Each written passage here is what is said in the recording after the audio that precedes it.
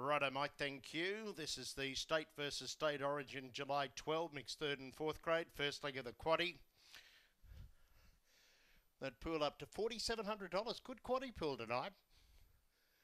Amber Marie $2, Dusty's Chance 480 Prater's Recruit 750 Larrikin Lass 850 Free Spirit at 10 Amber Marie drawn the inside for John Reimer.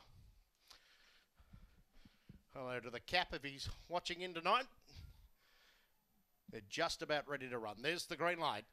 Lure rolls up. First leg of the quaddy. One Amber Marie, the favourite. Racing, Amber Marie slowed away. Barney Be Good in the centre won the start. Driving through was Free Spirit, then Amber Marie, followed by Prater's Recruit. Then further back was Hoop Dreams in company with Dusty's Chance, Larrikin Lass. Nash Tato towards the rear, running off the back. Barney Be Good, two in front over Free Spirit, followed by Amber Marie. Prater's Recruit around the corner. Wide Barney Be Good, through on the inside comes Amber Marie. Favourite railed through, takes the lead. Amber Marie, big win. Photo for the minors. Prater's Recruit, Larrikin Lass, Lake Barney Be good, followed by Hoop Dreams, Dusty's Chance, Free Spirit, Nash Tato in around 25.30. Took the shortest way home along the tournaments to win. One Amber Marie, John Reimer, one six.